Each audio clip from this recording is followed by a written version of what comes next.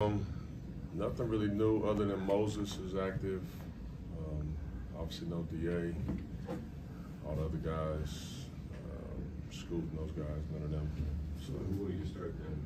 I'm gonna start WAP. I'm gonna start so uh, Ant, Jerami, Kris, two WAP. Thanks,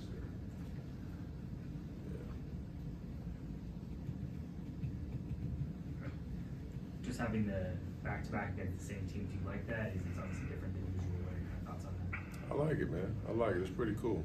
You know, um, you see a team twice, and obviously, you know, that first game, you see how it kind of plays out, and then both teams, all the players, both coaches, all kind of take what you get from tonight, and then see what you can do differently the next day. You know, so I do like it. It's pretty cool, especially, I mean, outside of the game thing.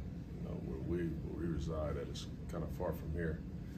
The Western Conference, so being able to play both games here and then come back twice uh, cuts down on a lot of that travel.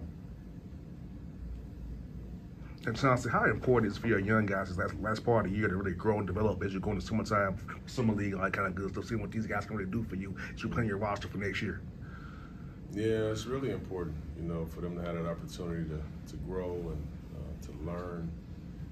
You know, a lot of those young guys, they're learning for the most part when they're really young and the team is healthy. Most of their learning comes from film and kind of watching it. And now these guys get the opportunity to actually be out there, you know, um, and learn how to guard these different players at all times and keep learning their own teammates a lot more. So um, that's that's that's a big part of what we've been doing. Is trying to develop our young guys. So um, it's invaluable. Any other questions? All good? Thank Good. you.